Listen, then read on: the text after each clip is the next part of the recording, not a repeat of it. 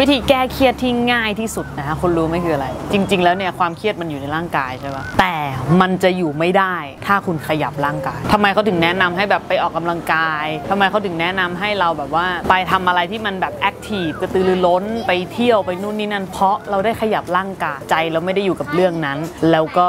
หนึ่งอย่างนะอย่างนิดหน่อยอย่างเงี้ยถามว่าเครียดไหมมันก็มีบ้างใช่ปะช่วงนี้ แต่วิธีการนั่นคือ คุณออกไปใช้ชีวิตกับคนอื่น ไปอยู่กับครอบครัว ไปเจอนู่นเจอนี่คุณจะไม่มานั่งหมกมุ่นอยู่กับสิ่งที่คุณกำลังคิดถึงมันอยู่ประเด็นก็คือจำคีย์อันนี้ไว้ง่าย ๆ ก็คือ ความเครียดมันอยู่ไม่ได้ ในร่างกายที่ขยับ เพราะฉะนั้นวิธีการนี้ง่ายที่สุดคือ ถ้าคุณเครียดมากก็ลองกระโดดดูก็ได้ หรือลองแบบว่ากางร่างกายให้สุด แล้วคุณจะรู้ว่าความเครียดหรือความคิดที่มันไม่ดี มันไม่สามารถที่จะอยู่ในร่างกายที่มันขยับขยื่นได้ เพราะฉะนั้นลองเอาเทคนิคนี้ไปใช้ดูนะคะสำหรับวันนี้ สวัสดีค่ะ